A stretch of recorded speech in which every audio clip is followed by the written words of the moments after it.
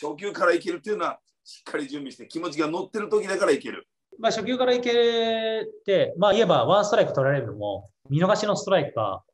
空振りのストライクか、ファールのストライクかで、その後の気持ちの楽さは全然違いますよね。やっぱり空振り、空振りでも、ファールでも触れたっていう感覚の方が、やっぱり次の球ってなった時に、うん、あの、あれですし、まあ、凡退、凡退しても、僕のね、僕の感覚の代打っていうのは、あの、終盤特に負けてる展開の7、8、9で行くことが多かったので、要は7、8、9回でいったら、向こうのピッチャーの勝利パターンです。勝ちパターン。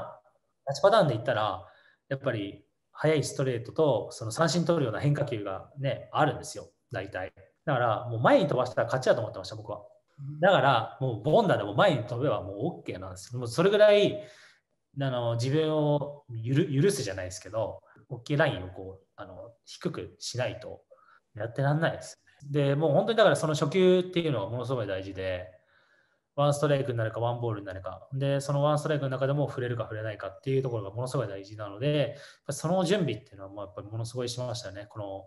まあ、もちろん気持ちの準備も、そのデータ上のあの数字、頭の準備も、あとは体の準備もものすごいしましたね。